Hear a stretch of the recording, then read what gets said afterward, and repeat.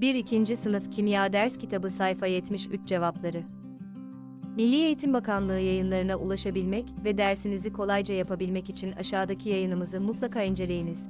1-2. Sınıf Kimya Milli Eğitim Bakanlığı Yayınları Ders Kitabı Cevapları Sayfa 73 X, Y, Z ve T metallerinin aktiflik sırası X, Y, Z, T şeklindedir.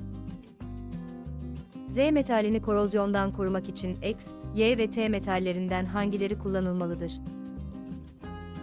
Cevap: X ve Y.